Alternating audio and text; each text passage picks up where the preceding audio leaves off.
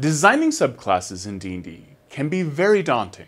They need to not only be mechanically sound, but they also need to add to the story. Every subclass needs an element that can bring something to every adventure. With a subclass that gets created for D&D, there are many different stages in the creation process. Balance is a piece of that process, but in some ways one of the least important pieces. We like to talk about the initial drafting phase of a piece of design. So in this case, we're talking about subclasses. And then we talk about finishing the design. Every design, at least the best designs, they start with a story. They start with something that excites you, an archetype, uh, particularly when it comes to a subclass. This is usually going to be a type of person you're going to want to play, whether you know, it is a wizard who's a diviner, or a cleric who worships a god of light, or it's a rogue who's you know, very thieving sort of person and therefore is drawn toward the, the thief subclass. In each of these cases, we're talking about story archetypes, where you, you can imagine a person you can often imagine a costume, you can imagine a personality, you can imagine the types of things this person would be able to do in combat and out. That's the first step. What's the story? What flows from there then are things like the text that describes that story. We sometimes internally will talk about the little story text that goes along with a subclass as it's sort of its mission statement. It says, this is what basically this subclass is about. Here's a guide basically for anyone who's going to play this subclass uh, to help you role play this character and also for you to imagine this character's place in the worlds of Dungeons and Dragons. That story text, though, is also really crucial for us as we do the other parts of our design. Because that, that mission statement for the design will help us, and specifically me as the person who oversees the finalization of all game mechanics for D&D, I always go back to that story text, essentially. What tale are we trying to tell? And I need to make sure that as, as, as well as possible, the game mechanics we then create and shepherd through our development process reflect that story. Sometimes we'll end up making changes to the mechanics that push the story in a new direction, and then we go back, and this is sort of talking on the practical side, we'll go back and actually change that story text so that it now reflects the new story that the subclass is telling. We'll then, often in the initial uh, creation process, which people have got to see a little glimpse of in Mike Mearls' Happy Fun Hour on Twitch, where you get to see that sort of early concepting phase of let's spitball something, uh, let's come up with a story, and then let's brainstorm some of the little class features and other mechanical nuggets that could express that story. Uh, and it really is, in a way, you just let your imagination run wild with some limits. One of the big limits, even in that initial phase, is you're playing in kind of a playground that's already, that already exists. Anytime you create a subclass for a particular class, you want to make sure you're familiar with the subclasses that already exist for that class, because that starts giving you a sense of the mechanical heft that a subclass has for a particular class. Because the secret is not all subclasses are created equal, especially when you compare the subclasses of one class to the subclasses of another. If you look at a cleric uh, divine domain, for instance, and compare it to the barbarians subclasses, the subclasses have different mechanical heft. And what I mean by that is they're pulling a different amount of weight story-wise and in terms of the capability of that character uh, in each of those classes. What you can do with a domain, even sometimes when it comes to something as concrete as damage output, might be heavier in the subclasses of one class than in another. Some classes, a lot of their mechanical heft their damage output, their healing output, their abilities in an exploration context or a social interaction context, sometimes a lot of that weight exists in the core class. Whereas you'll come to another class where a lot of that weight actually exists in the subclasses of that class.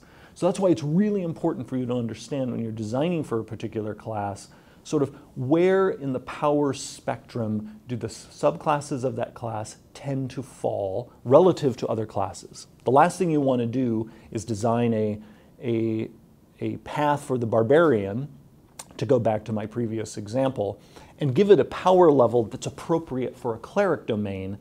You want to make sure you're giving it a power level that's appropriate for a barbarian subclass.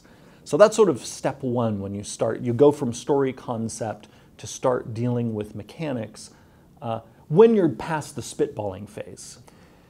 The next thing you want to do is you're going to want to make sure you're filling in any special buckets that a class might have in its subclasses. Clerics, again, like clerics are a good one to use because uh, they have a, a, there's a unity into how, in how cleric subclasses are designed. Cleric subclasses all need to deliver at least one channel divinity option. So you've got to make sure already in your design that you're hitting uh, that checkbox. Uh, cleric subclasses also uh, need to give you either divine strike or potent spellcasting. Uh, so you need to make sure when you're designing for a class that you're taking care of those sort of infrastructural things. Now that said, D&D is an exceptions-based game.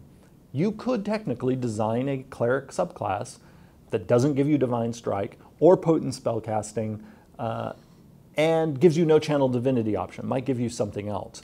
But your design better be aware of the fact that it's not giving you those things and where necessary, give you something else to compensate. So you need to make sure when you're designing that you're very aware of the environment that you're designing in. And when it comes to subclass, the environment you're designing in is the class you're designing for.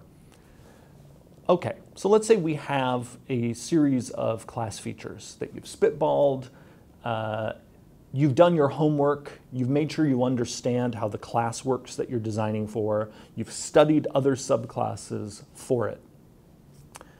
One of the things you're going to want to do is see, do you have any duplicated design? Did you design something that, act- that is actually really close to something that already exists? Now I'm going to say something now that might surprise people. Duplication is not in itself bad.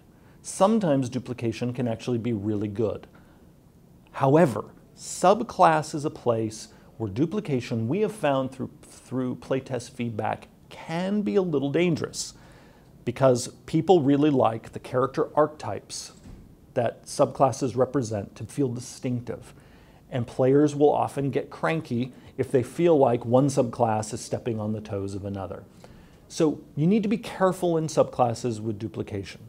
Uh, that said, it is fine once you've kind of uh, dived into the nuts and bolts of a particular feature, it's okay if it's reminiscent of another feature somewhere, if it's appropriate and you don't overdo it. Here's what I mean. You could have a single feature, uh, and in fact, just yesterday I did uh, some development work on something that was uh, concepted in the Happy Fun Hour and started to push it toward more of a final version. One of the features, new features I wrote for it, it was for the order domain for the cleric, uh, was a feature that is a little reminiscent of a wizard feature. That's fine. However, if I had sort of copied the entire shtick of another subclass, that would be pushing duplication too far. So it's okay to use tech that already exists in the game uh, if it hits exactly the target you need. Do, you do need to be careful though about naming. Don't use the same name for something unless it is indeed meant to be the exact same game mechanical object.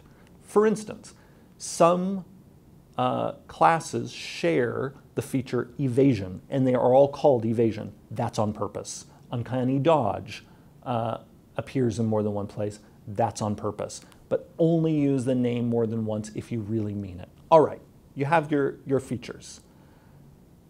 then people start wondering uh, are they appropriate? This is where it's good. Go back to your story. Make sure that all the features that you now have, some of which you might have gotten really excited about because it's like, ooh, this is a really interesting game mechanic. Here's what I recommend always be very suspicious when you find yourself saying about your own design or someone else's design that maybe you're helping them with. Be suspicious when you find yourself actually saying, that's a really interesting game mechanic. Far better for you, for your feeling to be, this tells an exciting story. Because what we have found is that when we're being kind of armchair game designers and also armchair game fans, and I say this as a person who's a fan of a lot of games. I play a lot of video games, I play other role playing games, I play a lot of board games. I'm very interested by a lot of different game mechanics. You know, this is sort of my game nerd nerds out on, ooh, that's a fascinating mix of elements. Here's the thing we have found, looking at the playtest feedback of hundreds of thousands of people for fifth edition over the last, wow, it's already five years, what people want is an exciting story. Interesting doesn't necessarily always deliver the fun and doesn't necessarily always deliver a compelling tale. So, what you want to pause and think is does this class feature that you're giving a particular subclass, or even a base class, if let's say you were, you're going wild and you're making a whole new character class, does it tell an interesting story, a fun story, a compelling story for this character in the world? What's going on in the world? That's often the question I pose to something I design and when I pose a question I pose to the design that I'm evaluating by other people. What's happening in the world of Dungeons and Dragons when a person uses this ability? What tale is going to arise at the game table because of the use of this ability? Does this ability help me visualize this character in the movie in my mind that's going on of the potential D&D sessions? Does it help me visualize them better because of the wonderful storytelling that's hiding out in this design? Now, not every class feature is going to be a stellar pillar of game design. I mentioned the Cleric's Divine Strike ability, which is basically you deal some more damage. So not every feature has to deliver, you know, exciting storytelling all on its own, but it's a holistic thing. You want to look at the features, how do they all gel together? Are they all together contributing to a great story uh, that, and specifically a story that is true to the archetype uh, that the subclass is expressing. If the features pass the story test and they actually look like they're going to be fun, even better if you actually try them out and play yourself. You know, do have a quick encounter if it's a combat ability, a quick social in interaction, an exploration scene, give it a try. Often a quick try of the thing will tell you if it if it's going to work or not, if it's too complicated, uh, if maybe it's flimsy and maybe could use some more meat on its bones. Uh, those are all important things to assess. That's just part one of our series of videos on designing subclasses in D&D with Jeremy Crawford.